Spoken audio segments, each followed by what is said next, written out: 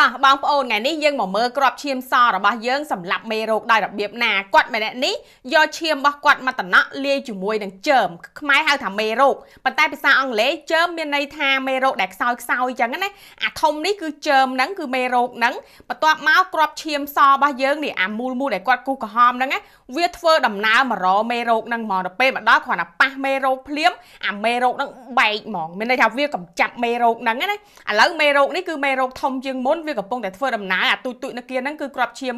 ក្រហមហើយអាក្របឈាមសធ្វើដំណើរមករត់មករមេរោគហ្មងដល់ពេលមកដល់គ្រាន់តែប៉ះហើយជ្រៀតខ្លួនចូលទៅក្នុងមេរោគភ្លាមអាមេរោគហ្នឹងផ្ទុះហ្មងនេះនេះឃើញទេអាទូចទូចសហ្នឹងចាប់ផ្ដើមជក់ខំជាប់នឹងមេរោគឯងបន្ទាប់មកវាជ្រៀតចូល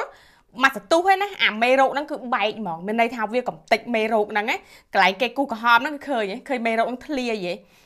វីដេអូហ្នឹងបានបង្ហាញថាប្រព័ន្ធការពាររាងកាយយើងគឺវាវាយប្រឆាំងសម្រាប់មេរោគដើម្បីការពាររាងកាយយើងជាប្រចាំជាពិសេសពេលយើងប៉ះនេះប៉ះនោះមានមេរោគដែលចូលតាមមាត់តាមអីដែលយើងញ៉ាំអាហារមិនសូវស្អាតអីអញ្ចឹងណាអញ្ចឹងប្រព័ន្ធការពាររាងកាយយើងគឺសំខាន់ណាស់សម្រាប់វាយប្រឆាំងមេរោគទាំងអស់ហ្នឹង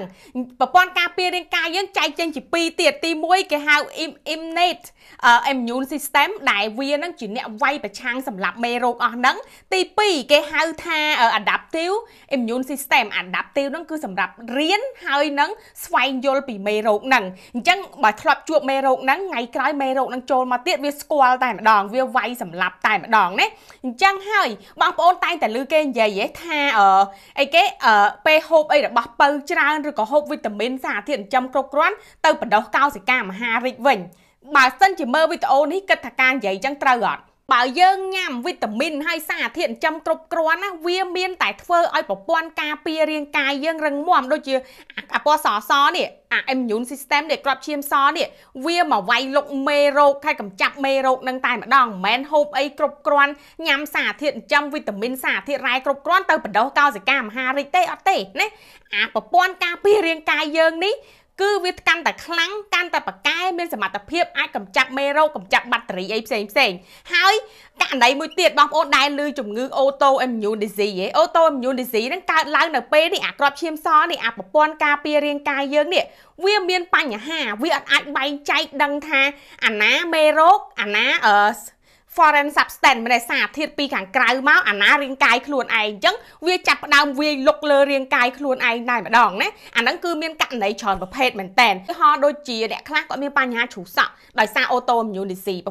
គ្រាប់ឈាមសឬក៏ប្រព័ន្ធការពាររាងកាយយើងទៅវាយលុកគល់សក់ខ្លួនឯងហ្មងអត់ដឹងថាហ្នឹងជារបស់ខ្លួនឯងអញ្ចឹងធ្វើយើងជ្រុះសក់ករណីហ្នឹងព្យាបាលបានឯករណីខ្លះទៅវាយលុកលើស្បែកករណីខ្លះវាទៅវាយលុកកន្លែងផ្សេងផ្សេងទៀតដោយសារវាអាចបែងចែកដឹងអញ្ចឹងណាករណីហ្នឹងបើសិនជាប្រព័ន្ធន្ធការពាររាងកាយយើងកាន់តែខ្លាំងយើងមានបញ្ហាកាន់តែខ្លាំងហើយបើករណីមួយទៀតគឺប្រព័ន្ធនៅពេលករណី allergy ម្ដង allergy allergy គ្រឿងសមុទ្រ allergy ខ្យល់មានមានលំអងផ្កាមានអីនៅក្នុងហ្នឹងអាហ្នឹងគឺជាសារធាតុខាងក្រៅឯពេលវាចូលក្នុងខ្លួនយើងទៅប្រព័ន្ធការពាររាងកាយហ្នឹងវាទប់ទល់មកអាហ្នឹងបែបលក្ខណៈថា crazy ដូច អត់តំណងអញ្ចឹងទៅធ្វើឲ្យយើងអាឡែកស៊ីយើងកដាស់យើងអីយើងមានបញ្ហាអញ្ចឹងណាអញ្ចឹងយើងត្រូវដឹងថាអាទូចទូចក្របឈាមសរបស់វើយើងគឺវាយលុកមេរោគឲ្យយើងជាប្រចាំតែម្ដងជារៀងរាល់ថ្ងៃ